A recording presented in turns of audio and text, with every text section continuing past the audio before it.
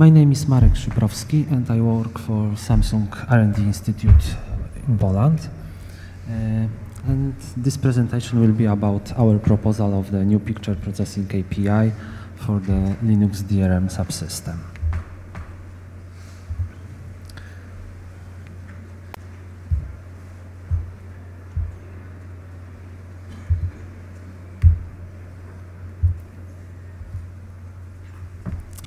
This is the agenda of my presentation. So at the beginning, I will tell you a few words about uh, Linux DRM subsystem. Then I will make a short introduction to, to the KMS API that is a part of the Linux DRM subsystem. And then I will uh, present what is Exynos DRM IPP uh, subsystem and uh, why it is important for uh, us and what is uh, this presentation all about. So what the new API, uh, uh, what is uh, the goal of it and uh, how it can be used.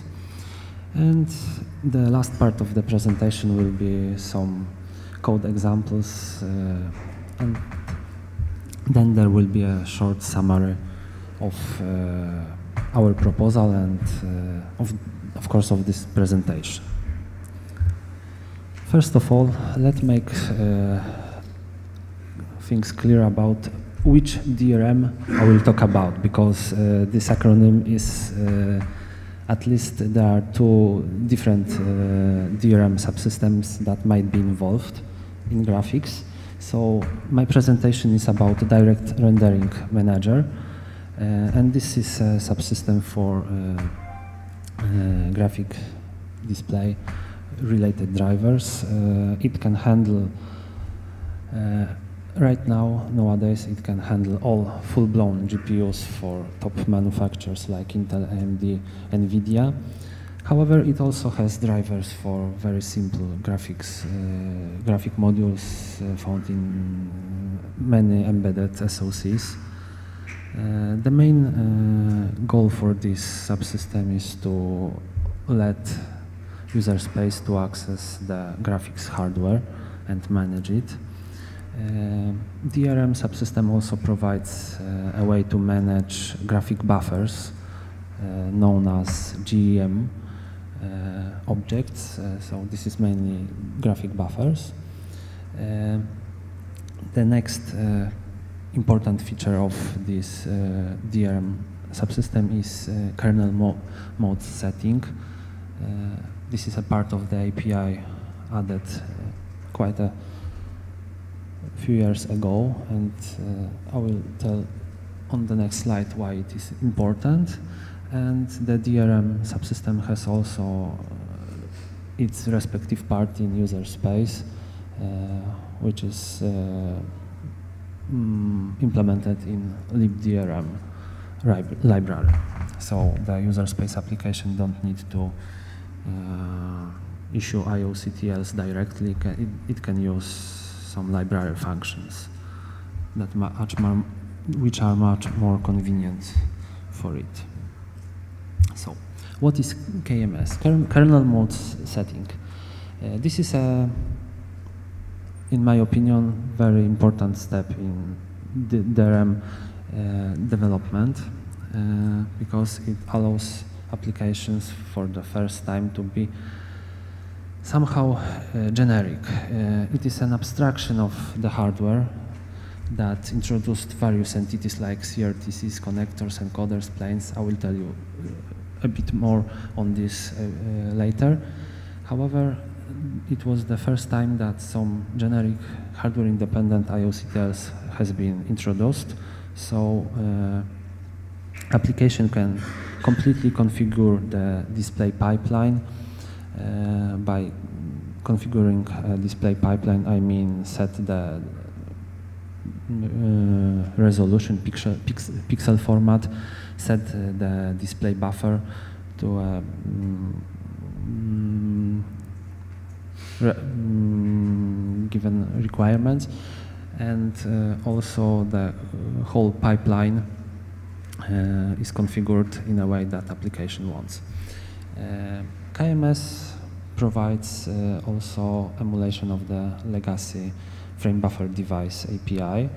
This is the previous API used for the display uh, in Linux. Uh, and why it is important? Because right now uh, the FBDEV API is still used for the mm, kernel console. If you want to have console on the graphics, on the um, on the graphic display, uh, this is still used right now implemented on, on top of the legacy of uh, FBDEV API. Uh, KMS API together with so-called dumb frame buffers allows uh, to create completely uh, generic applications that uh, don't rely on any hardware specific parts and can be used on more than one uh, graphics subsystem. I mean graphics uh, from different vendors. The same application can be used. Uh, there are some names uh, already mentioned uh, that makes things clear. What does it mean and how we can understand them. So the first object mentioned uh, was GEM object this is uh, right now uh, the acronym of uh, it is Graphic Execution Manager. However, in the DRM right now it is mainly used as a handle to a memory buffer whenever, wherever the memory comes from. So by GM object, we, uh, we, we mean the memory buffer. Uh, the next uh, entity is frame buffer. This, this name is somehow confusing because uh, in the DRM this is no more than GEM object and uh, some metadata like format with height pixel and pixel format. Uh, and that's all. It has some ID that is used uh, for various purposes. Then we have a plane. This has been uh, added uh, rather um, recently. so by a plane, we we understand some part of the hardware that is uh, supposed to do the scanning uh, of the video pixel data from the frame buffer. Then we have an entity called CRTC.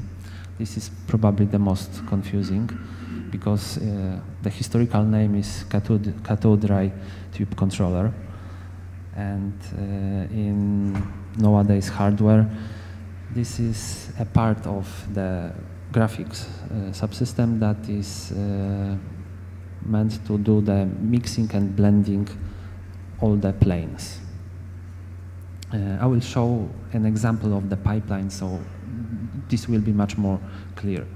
Uh, then we have encoder, uh, that's another part of the hardware that uh, generates some signal from the CRTC output. And the last object is connector, which simply routes the signal from the encoder to some external word, like display panel or HDMI uh, output. And here we have some example of the graphics pipeline. Uh, it is uh, built from, well, it has free, uh, free, uh, free graphic buffers on, on top. We have GM objects for the main graphic um, buffer. Then we have some video um, video window, let's say, and the last is uh, the GM object for the cursor display. Each of, uh, from each of these GM object, there is a frame buffer created, and uh, there are three planes uh, that scan out pixel data from those planes, and all this goes to a single CRTC, which then produces some the output to encoder, and as the last part, we have uh, two connectors uh, um, which uh, gets the signal from the encoder. So the same picture goes to HDMI connector and to the VGA. So this is just an example. There are some objects not used in the configured display and uh, why I talk about this. Uh, because all those uh, entities are DRM objects. Uh, DRM objects are very important in the KMS API and the whole idea of the KMS API uh, was to let user space to first enumerate those objects and then to configure them. So we have the entity called DRM object. Each of uh, such objects has unique ID. They have, of course, a type like CRTC connector encoder. Some more uh, object types has been added later, like uh, plane, like blobs with binary data, and so on. And each DRM object has its own set of properties. What is a DRM property? Uh, the property also has some unique ID. Uh, properties can be of different types. Here are some examples. Mm, what is maybe it's not listed here, but it's also important that each property has its own name. The name that can be uh, checked by uh, the name that is stored as a uh, simple string and the value of the property is mm, stored on 64 bits. Mm, the KMS API provides uh, IOCTLs to enumerate all objects uh, available in the system and to get uh, properties of uh, any of those objects and uh, also um, application can query each property for the value, but also for the name of the property and the type. So another major step in DRM development was the introduction of Atomic KMS API. Why the name Atomic is used? Because the main idea was to let user space to configure or change the configuration of the display pipeline in a single IOCTL. Uh, the, there was various problems uh, with the first version of the API because uh, there were many use cases where user space wanted to change more than one parameter of the display pipeline. So the simplest uh, use case would be to update more than one plane uh, at the same time. Usually you want to update the buffer on the page flip. Uh, so on the next uh, scan out, all the, video data will be scanned from the new buffers. in the original uh, KMS API, you had to issue IOCTL for any of those updates. In the new Atomic API, you can change all of them in a single IOCTL. This atomic KMS API also solved the problem of all the intermediate steps uh, in the con pipeline configuration because some of such steps might be hard to define or hard to implement. The Atomic KMS API has been enabled in Linux 4.2 and till now most of the drivers has been already converted to Atomic API. How does it work? Uh, the main idea of the atomic approach was to use DRM objects and their properties. So um, if we can define the state of the whole pipeline by the state of uh, all objects and their properties, uh, we can just uh, provide the list of objects and their properties in this single IOCTL. So this is the main idea of uh, Atomic KMS API. Uh, so let's now switch a bit and I will tell you a bit more about Exynos image processing API. Uh, what is image processing? Uh, basically, it's uh, uh this API gave uh, application access to various hardware uh, modules that implements memory-to-memory -memory operations like image scaling, cropping, color space conversion, rotation and flip around vertical or horizontal axis. Mm, and this has been initially implemented as Exynos DRM uh, custom extension. Exynos DRM is a DRM driver for the display hardware that is available in various Samsung SoCs. And because I'm from Samsung, this is important for, for me. Uh, the name might be a bit co uh, confusing, especially by the part post-processing, because it's just about processing. However, not I wasn't uh, involved in designing and implementing this version, the first version of this API. Uh, so this is a very simple uh, um, example how it looks like. We have two image buffers the source and the destination. Uh, each buffer has its so, some properties like width and height. Uh, we have some operation area which is defined by the top, top left corner and the width and height. And we can do the operation like copying pixels uh, from the source to destination, possibly with some kind of uh, color space conversion in between or rotation. And all this is done by the hardware, so it is much more uh, uh, efficient in terms of um, speed and uh, power than doing it by the CPU.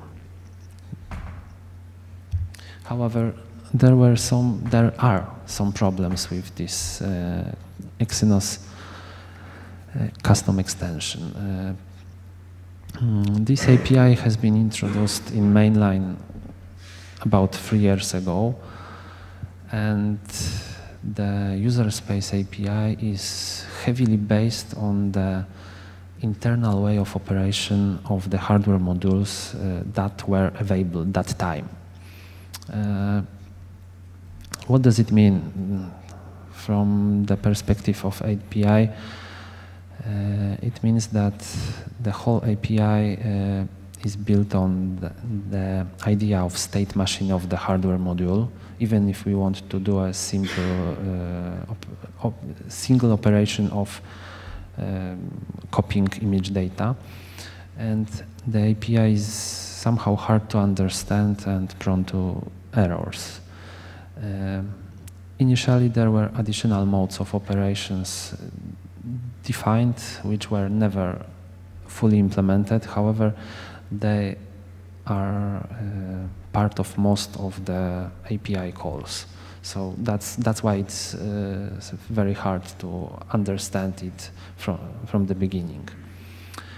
Uh, the um, probably the um, most uh, important uh, thing about this API is that there is no client of it in mainline. I mean, uh, there is no user space application in upstream that makes use of this API.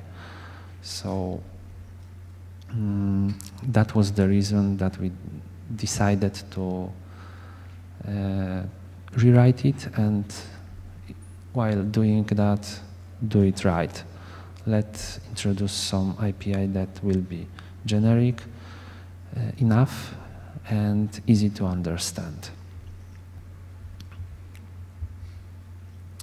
So let's take a look at the sing single uh, image processing operation again.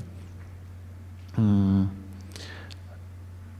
Single operation uh, requires to have a source buffer, destination buffer, and optional transformations like that has to be done to the image data while they are copying from source to destination. Of course, we also need some uh, operation area if we don't want to operate on the whole buffer. And that's all. Those parameters are enough to define the Im image processing operation completely. So what was what were the assumptions of the new API? Uh, we may we wanted to focus on memory to memory operations uh, and uh, let user space to perform all the mention, mentioned uh, things like image scaling, cropping, color space conversion, rotation and flip. Uh, we wanted to let to make this API generic so the application can should be able to query for the capabilities of the hardware because not all hardware modules let us to implement all those uh, mentioned operations. We want to hide any hardware specific uh, mm, mm, things that are not really uh, a part of the API. And while uh, working on this, we decided to follow uh, the convention of the DRM and KMS approach. So we wanted to use the DRM objects and properties thing uh, as the main uh, part of the new API. Uh, the another goal was we, that we wanted to let users to write hardware independent application code. So we wanted to make this API somehow generic. And if possible, we also wanted to be ready for future extensions. No one knows what new new things will be available in the hardware modules in the next generation of SoCs. And if possible, maybe they can also be handled by this API. Uh, now, a few, few more words about uh, the image buffer itself. Uh, buffers in the DRM are mainly GEM objects. However, uh, the GEM objects uh, consist only of the um, size in bytes and has completely unspecified format. So in this new API, new API proposal, uh, we wanted to have some properties attached to uh, the image buffer. So we selected to use the DRM frame buffer object, what gave us for free the, all the metadata that might be important for image processing. This means that we have the GM uh, object itself, which means memory, uh, that uh, contains video data. We have start offset, the size of the buffer, pixel format, width, height, stride, and the frame buffer objects also provides access uh, to um, multi-buffers format like uh, the video formats with separate uh, luma and chroma um, planes. So this we got for free if we decided to use the DRM frame buffer, frame buffer object. And our proposal has been submitted to mailing list uh, in August uh, uh, 2016, so two months ago and the main idea was to introduce new DRM objects uh, which has been named frame buffer processors although I has been already uh, notified that this name is somehow confusing. So maybe the next iteration uh, of this proposal will use a bit different name. But we wanted to make all operation on all image operations uh, to be defined by a set of properties and the, this API was heavily inspired by the DRM Atomic KMS API. So this API consists of three new IOCTLs. We have an IOCTL to enumerate all the introduced new objects which are called frame buffer processors. We have an IOCTL to query properties of the given DRM process, process given frame buffer processor object and the last IOCTL to perform an operation on a given frame buffer processor. So together with two standard DRM IOCTLs for managing, managing DRM objects and their properties, the application can write, uh, can implement hardware independent image processing.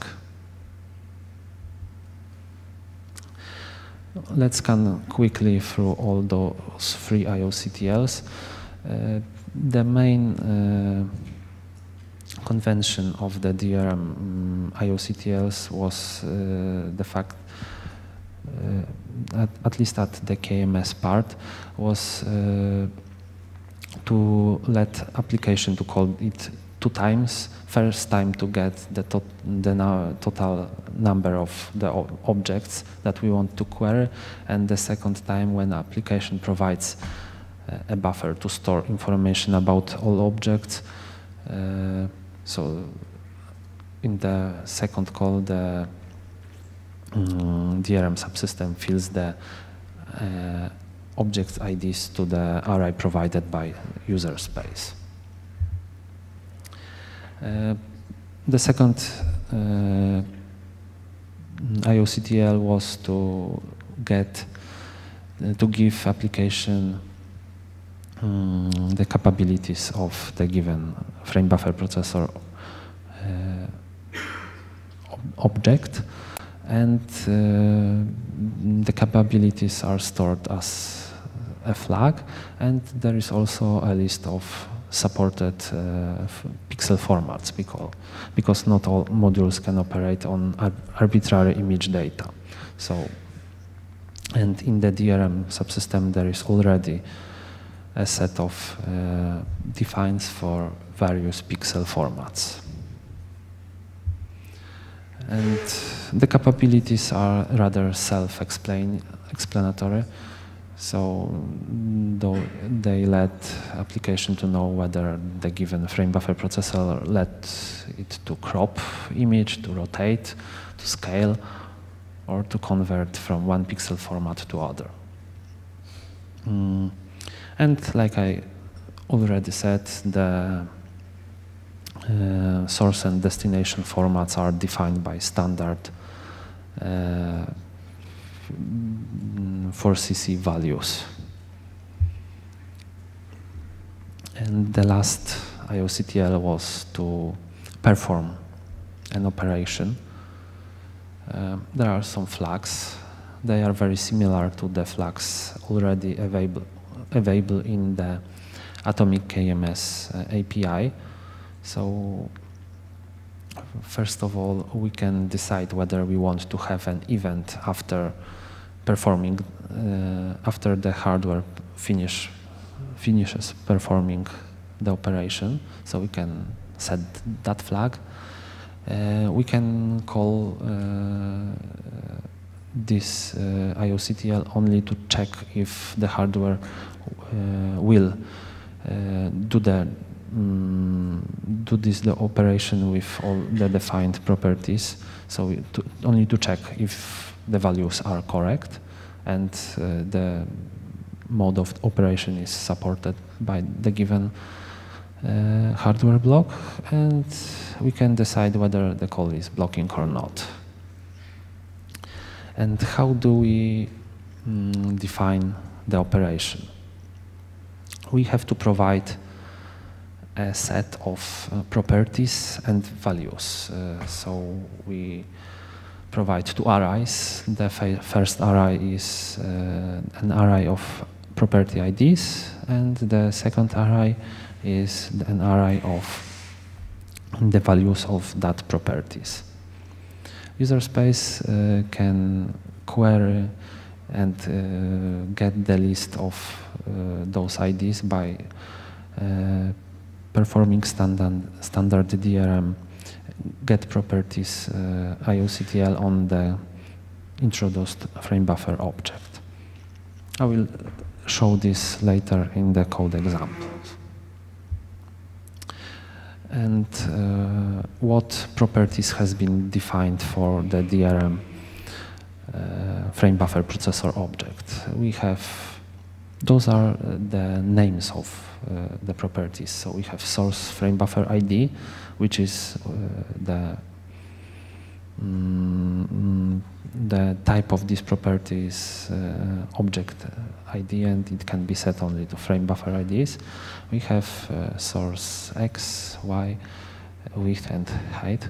And to follow the convention of the KMS API, those values are stored as fixed, uh, fixed point uh, integers.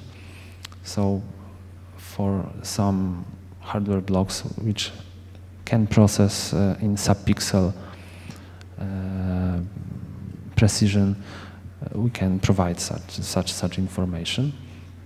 And the same set of, similar set of properties for the destination buffer and destination operation area, and optional rotation uh, property that defines what rotation or end flip uh, has to be performed to image data. Uh, of course, application won't uh, call the IOCTLs uh, directly, so we have corresponding, uh, we introduced corresponding calls to libdrm. So we have two, fun uh, two functions to get uh, an array of frame buffer processors and then to free it, which so, so the IOCTL for getting the list of frame buffer ob objects is hidden behind this function. We also have an, um, we have a function to get capabilities about uh, given frame buffer objects. And the last function is to perform the operation. So it matches the um, third IOCTL. Uh, um, to let uh, application build uh, the set of properties that is needed to perform uh, frame buffer processing operation, uh, we introduced this kind of request addi uh, additional request uh, structure, so application can allocate this request structure, free it, and add a property to this structure. So this is the third function in, in the middle. So by adding uh, it, uh, we add a property ID and the mm, desired value of that property. Uh, application can also get uh, cursor and uh, set cursor on those mm, properties and then after if uh, there is a need for call uh, and perform the operation many times and change only some of those properties uh, when, we, when we have a cursor, we can only update a single uh, property inside this uh, requirement set. How does it look in the code? It, we have a probably very simple function for uh, doing all the operation, uh, the all the steps needed to perform image processing operation. So it, we have this process FB functions. The first uh, argument is the file descriptor of the DRM um, DRM subsystem. And then we have the rotation property and a set of source and destination parameters. So the application first gets the frame buffer processor resources from the DRM core, checks if there are any frame, frame buffer process objects. If so, um, it takes the first available one, frees this uh, structure, then gets the capabilities of the given frame buffer processor and check if the capability for rotation is set. And uh, another thing to mention that not all error checking is done here in this code to make it really uh, simple and short and probably easy to understand. And then we allocate the requirement set uh, structure. Uh, we get a, a handle to the properties of the selected frame buffer pro processor. And then we add each uh, property um, for the for performing image processing operations. So we first uh, look for ID of the source frame buffer ID property. And assuming that it has been found, we add it to the requirement set with the value of the um, frame buffer ID that came as an, an, argument for our function. And, and then we do this the same for the source x value, source y value, width height, and so on. And once all the properties are added to the requirement set, we, we can free the properties, um, the, the handle to, to properties, and we can simply issue the uh, I use the, the function, uh, we can call the function to perform the operation.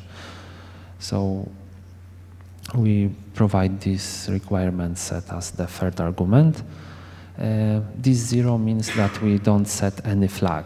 Uh, this, this would mean that the processing will be blocking, so the call will end once the hardware finish operation or we will get error. And the last argument is uh, used uh, when we want to have an event after pro processing. Uh, this is simply user data that will be attached to the event if, if it would come. Once the operation is done, we can free the allocated uh, requirement set structure. And what should be noticed, if we want to per perform multiple calls to this uh, commit function, we can use the same uh, requirement structure. We can only change some some properties on them, like we change the source and destination buffers if needed, and so on. So this is some kind of very simple code example how this new API can be used. And this is the helper function that uh, was used in this code. Uh, uh here the goal is to get the ID of the um, given property when we uh, when we look it when we look it by the name. So we simply uh, get all get parameters of the given property and check if the name matches the requested one. So what was the conclusion of this uh, API proposal? Uh, the patches has not been merged to mainline yet, so the whole presentation was about our proposal, uh, which is not yet available in the mainline. And we got no positive feedback from the DRM maintainers. Uh, the main, uh, from their perspective, the main disadvantage of this proposal is that we introduced new generic IOCTLs that has to be supported forever. And right now they think that there is no need to no need for such thing in the mainline DRM subsystem. So we would like to continue work on this uh, API change. However, it will probably will be limited only to the Exynos DRM subsystem. And that's all. Thank you for listening and are there any questions?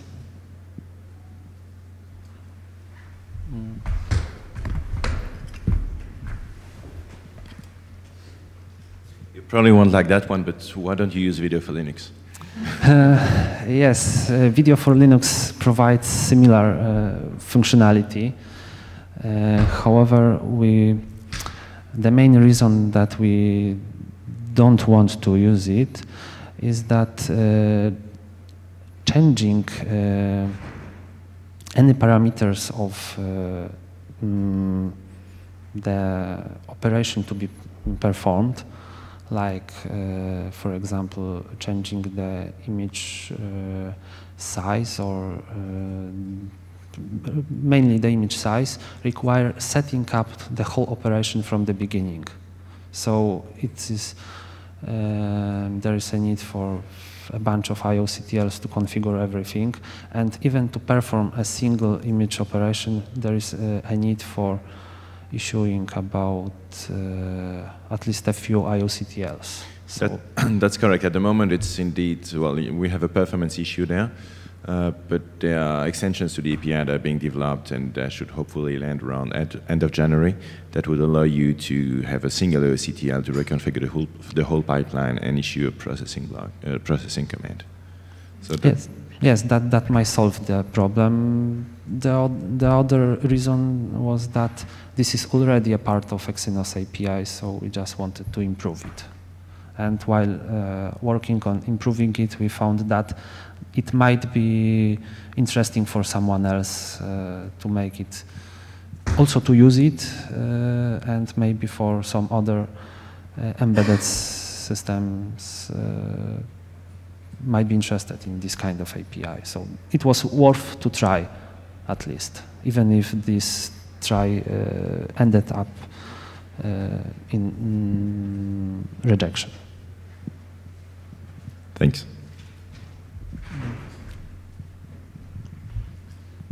So beyond the uh, the short code example that you showed, what is the the typical um, uh, user space usage of such a new API? Like, is it going to be used at the Xorg driver level in Wayland? I don't know, in GStreamer, in the toolkit level, directly in the application? Um, which part of the user space stack would benefit from, from well, this API and how it would be used? The main goal was to target for some mm, middleware layers. So definitely the Wayland or Xorg uh, implementation. And uh, I think that uh, GStreamer also might, might make use of this API However, there there are some there might be some problems to let it work together with Xorg or uh, Wayland implementation there because uh, DRM API is uh, very focused on sing them single single application that manages whole the whole display. However, there are some extensions to let other applications also use, use it.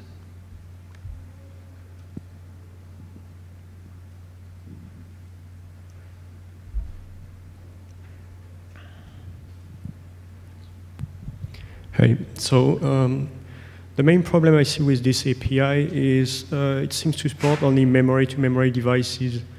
How would you support an IPP that is able to upload directly to the LCDC? Uh, well, um, Mm, if the operation uh, ends up directly in the hardware, I mean in the display pipeline, it can be modeled somehow as a part of the display pipeline. Uh, it's, uh, for example, if, uh, because those blocks uh, for image processing can, for example, uh, get uh, data from the image buffer and output it converted directly to the um, CRTC. However, we don't want to make applications aware of the fact, and uh, this uh, this kind of usage means that uh, we should rather uh, implement it as another plane object, uh, another standard standard plane, and let application to use the generic KMS objects uh, instead. Even if behind them there will be additional blocks used uh, in the DRM its, uh, driver itself. So such kinds of uh, usage should be hidden by the driver behind the standard DRM KMS API.